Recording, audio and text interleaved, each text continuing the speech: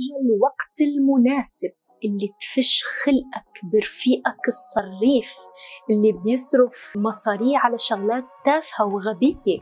ولا هداك رفيقك التاني البخيل اللي ولا مرة شفته دفع الحساب. في هذا الفيديو سوف تتعلم الكلمات لوصف طريقة تعامل الأشخاص مع المال أو ال spending habits للأشخاص. شخص صريف بيصرف مصاري كتير شخص حريص مع المال بس حرص مقبول وكمان شخص بخيل خليكم معنا.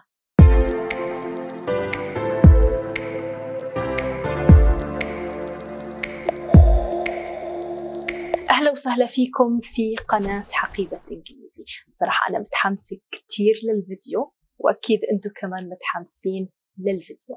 لذلك رح أبدأ على طول. نبدأ بالصرف الكثير للمال. هذا تعبير شائع وضروري جدا تعرفه اللي هو living beyond means. living beyond means.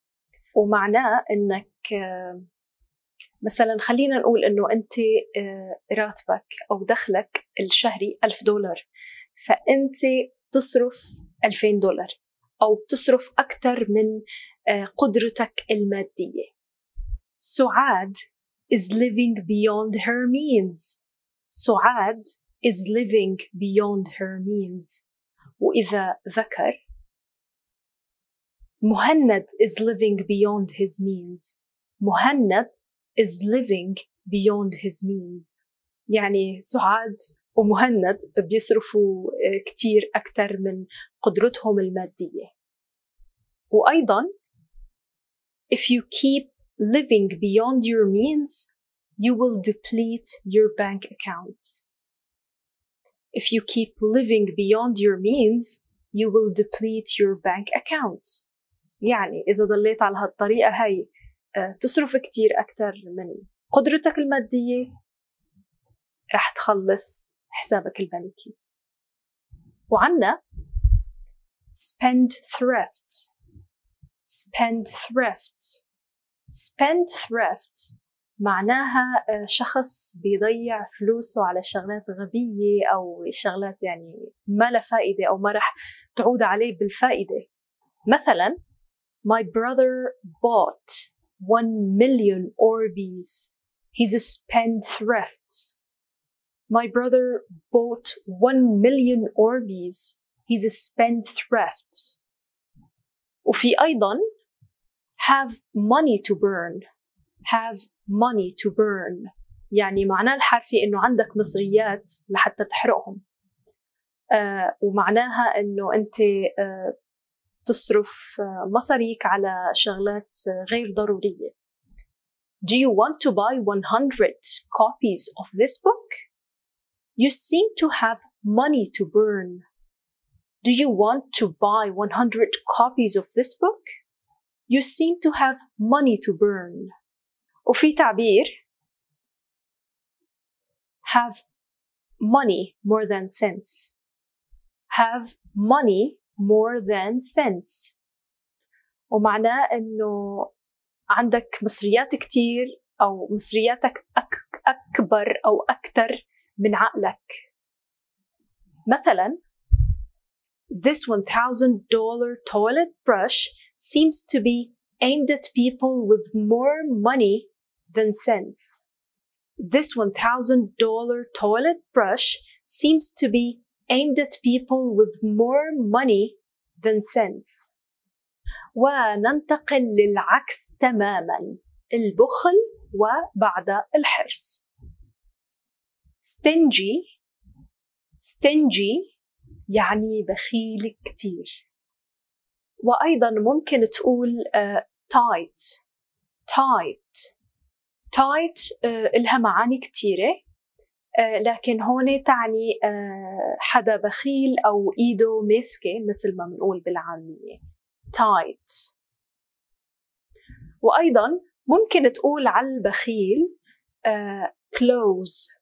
Close طبعا لها معاني كتيرة آه، بس هون ممكن أيضا تستخدمها لتقول آه، أو لتوصف الشخص البخيل اللي إيده ماسكة.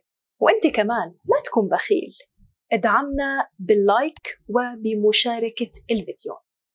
ولحتى تنصح صديقك البخيل ممكن تقول له you cannot take it with you. You cannot take it with you. وهذا تعبير معناه إنه مصرياتك ما راح تحسن تاخذهم معك على القبر إذا وصلت لهون معناتها أنت استفدت من الفيديو. تعرف إيش لازم تعمل. ما راح أقول لك بتعرف أنت. نأتي لآخر جزئية في الفيديو وهي الحرص. الحرص يعني ما بين البخل الشديد وما بين البذخ الشديد. آه الحريص على المال بتقول له thrifty thrifty thrifty. يعني شخص اقتصادي أو حريص مع النقود. طبعا هالشي هذا لا يحمل آه، معنى سلبي. thrifty صفة إيجابية. وأيضا ممكن تقول frugal. frugal. frugal معناها أيضا حريص لكن طبعا بمعنى إيجابي أيضا. وعندنا أيضا to live within your means. To live within your means. تتذكر أول تعبير في الفيديو؟ هون العكس تقريبا. to live within your means معناها أنك تصرف نقودك على حسب مقدرتك المادية. يعني أنت آه، قدرتك المادية أنك تصرف مثلا ألف دولار في الشهر آه، أنت ما بتتجاوز هذا المبلغ وبتصرف أقل منه. مثلا Sarah never borrowed money from anyone. She lives within her means. Sarah never borrowed money from anyone. She lives within her means. إذا وصلت لهون معناتها أعجبك المحتوى لذلك ما تنسى تضغط على أيقونة الإعجاب وتشترك في القناة وشارك الفيديو مع أصحابك وعنا money conscious money conscious معناها شخص واعي لأموره المادية بحيث أنه بيعرف قديش بيدخله في الشهر قديش بيصرف وين فلوسه بتروح I really wanted to be money conscious. I have no idea where my salary goes. I really wanted to be money conscious. I have no idea where my salary goes. وممكن تقول كاني كاني كاني معناها شخص حكيم أو جيد بالأمور المادية. برافو عليك أنك وصلت لآخر الفيديو. بنصحك كثير أنك تحاول تسمع الفيديو عدة مرات وتحاول تكرر الكلمات والتعابير الموجودة في الفيديو والأهم من هيك أنك تحاول تستخدمها في حياتك اليومية. شكرا لكم على المتابعة. أراكم في فيديو قادم إن شاء الله. إلى اللقاء.